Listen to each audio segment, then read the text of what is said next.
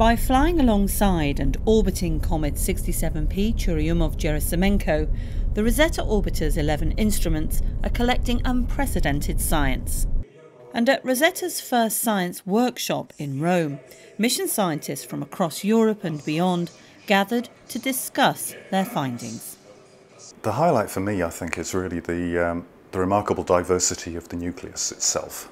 Um, when you look at the nucleus, you, you see an enormous range of different surface structures. That to me was uh, rather surprising.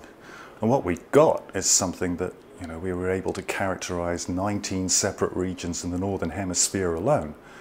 And although you can group some of those into, into uh, certain types, the, the, the range of the uh, of, of structure that we see on the surface is really quite remarkable. It's, in, some, in some senses, it's a geologist's playground.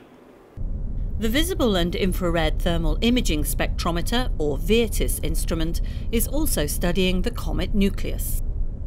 From VIRTIS point of view, we were able to study the, as a, study the surface composition.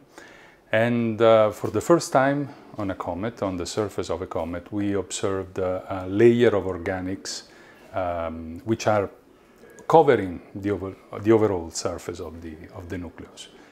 This narrow angle camera at the Max Planck Institute for Solar System Research in Germany is exactly the same as the one on board Rosetta, which recently detected more than 100 patches of water ice on the comet's surface. Together with a wide angled camera, it forms the OSIRIS instrument. A copy is inside this vacuum chamber to test commands. Apart from imaging the surface, OSIRIS has been monitoring the activity of dust jets in order to find their source.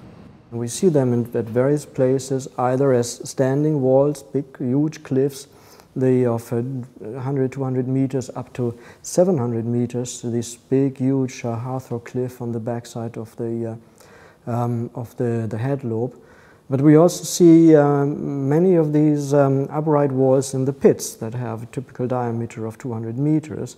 And uh, so these are the source, um, the main source region. We can't rule out flat lands, and we also have a few indication of uh, activity in flat lands, but the driving activity is uh, cliffs.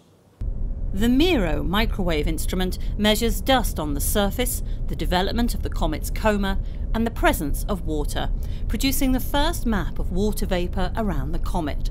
We see the water coming out of regions which are usually on a boundary between um, an illuminated piece of the comet and a non-illuminated piece. So as soon as a shadow gets exposed to the sun, it, you know, it, it, seems to um, emit gas, and so we're, we're seeing that on a number of locations on the comet.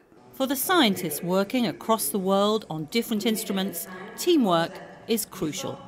For me, the, uh, the biggest advance is uh, combining the data, the, uh, the results, the understanding from the varied uh, teams on Rosetta. So we're discussing our findings in the visible with the IR findings of the VIRTIS team. So with the sub-millimeter findings uh, of Miro, this has the uh, potential to give us a real complete uh, picture, not an instrument alone. And almost one year from its first rendezvous with the comet, the 11 Rosetta orbiter instruments continue to produce scientific surprises.